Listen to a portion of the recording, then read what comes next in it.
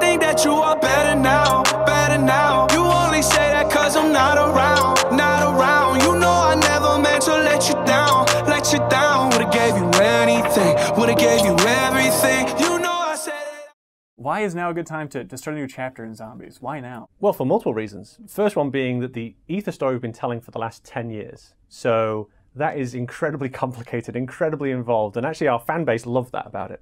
But there's a part of our community who've come in a little bit later on. It's almost unfair to them to be able to kind of jump into that 10 year story and kind of find their footing. So we felt that now is a perfect time to start a new story. The time is right because as we're making as we were making the 10 year story, we'd have ideas that we'd like, oh, we, we could put that in, but it felt like we were jamming it in. So we had all these great ideas that started just stacking up on one side.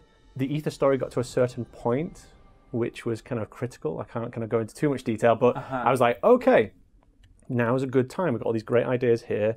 Let's start afresh. And that means we can also not only kind of cater to our 10 year fan base, but also a new fan base that's starting as well. Is this are the two stories connected in any way? Is it a mm. clean break? They are not connected. They're not connected. They're not connected in any way. They are two separate stories completely. So no really one is- believes me, by the way. No one believes me. I've said this out now multiple times. I even said it to your camera. Uh-huh. I've said it multiple times. They are not connected. All right, will you please also tell people that there are no secret messages and codes in this video? I could not say that. Jason, you killed it. What is up, guys? We are back for another video. You know, it's been a while. It's been like a week.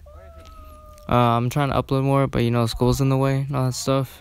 And I just wanted to make a little video on um, why Fortnite may die and why zombies is looking pretty strong. Cause I I really agree with Game Informer's video and the whole like th- thing with Jason Blundell because well what he said was true because the Aether storyline it, it kind of dragged down. You needed to start fresh, and that's what I'm thinking. The same thing with Fortnite, because Fortnite it, it was a fun game. It was a really fun game. It still is sometimes fun to this day, but but Fortnite just can't hold up anymore. It's not doing that good. Statistically, it is the number one game of the year, but personally, I'm just not enjoying the game anymore.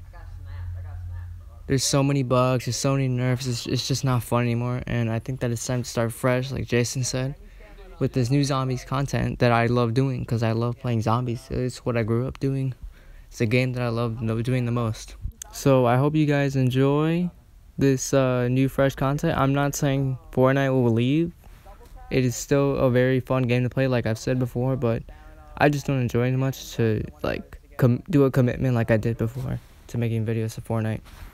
So we're gonna go back to the roots of what this channel is about and go back to zombies because you know it was pretty cool black ops 4 make sure you guys uh like and leave a sub and check out the new ix trailer because that is the first map we'll be playing. And yeah this is Dawn Clan and we are signing out